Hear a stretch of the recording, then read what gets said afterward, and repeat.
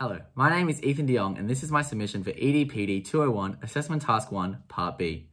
In Part A of this assignment, I focused on the importance and uses of behaviour management in a classroom setting, specifically looking at how behaviour can be managed through preventative and reactive strategies and how teachers can create and maintain a supportive and safe learning environment, NESA 2021. As a result of working as an SLSO and volunteering at my high school, I now have a newfound knowledge of behavior management and how these strategies can be applied in the real world.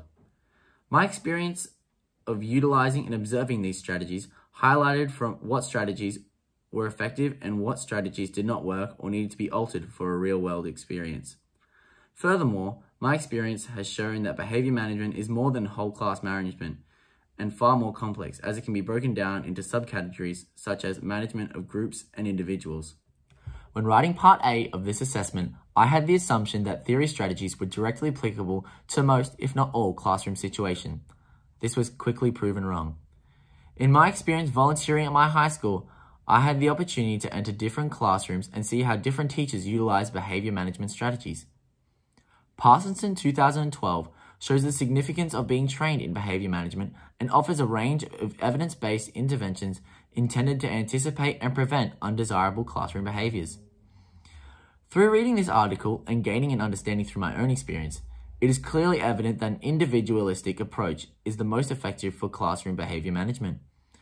I found this strategy most effective as it not only gives the teacher the ability to focus on the problematic students, but it also makes the students feel as though they are being listened to, creating a sense of a safe and supportive learning environment. A prime example of this is in video 3 of Mrs. Smith's Year 2 to 3 class. Miss Smith takes an individualistic approach to learning as she makes her way around the classroom assisting students as both individuals and in small groups. I learnt from this video that taking a little extra time to listen to the students plays a big role in their development as they are able to share why they are struggling in a supportive environment. This ensures Miss Smith is able to attend to the problematic students and struggling students, guiding them in the right direction. After writing and reviewing Part A of this assessment, I had come to the realization that though my preventative strategies were effective, my reactive strategies remained flawed.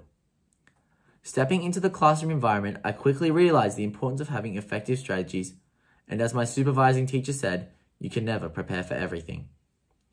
Clunies Ross ETAL emphasizes the influence that reactive classroom strategies have on students. This study is conducted by sampling 97 primary school teachers from Melbourne. The journal article illustrates the effectiveness of reactive strategies in a classroom environment with evidence-based research.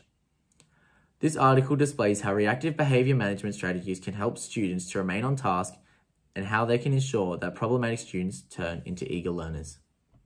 Furthermore, my experience has shown that behavior management is more than standing in front of a class and talking at them. Behavior management is far more complex, as teachers are required to meet students at an individual level utilizing both preventative and reactive management strategies. Through submitting Part A, I learned about the significance of behavior management, yet I struggled to understand the depth of how it can be used effectively. After submitting Part A and completing Part B, I've learned how various reactive and preventative strategies can be utilized in different classroom circumstances. I understand that I'm only just beginning to skim the surface of behavior management, but I'm eager to and will continue to learn to better myself for my future students. Thank you.